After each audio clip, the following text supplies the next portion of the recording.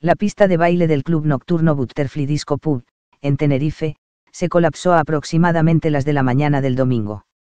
Y quienes se encontraban allí cayeron hacia el sótano, lo que provocó 22 heridos, entre ellos varios con fracturas.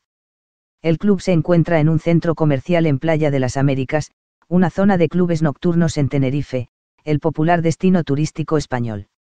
Se dice que entre los heridos hay ciudadanos de varios países, incluido España, Francia, Reino Unido, Bélgica y Rumania. Roof Collapse Atmósfera Técnica Club Indio Tenerife Almohadilla Tenerife Final de la publicación de Twitter número de arroba entre los heridos, dos tenían lesiones serias con fracturas del fémur, según informó el gobierno local. Otros nueve sufrieron heridas moderadas con fracturas y once presentaban lesiones menores.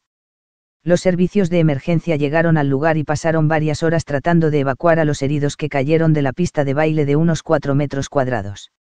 Después de que el piso se colapsó, la gente que estaba adentro cayó al sótano desde una altura de aproximadamente un piso, indicó el gobierno regional en una declaración citada por la agencia AFP.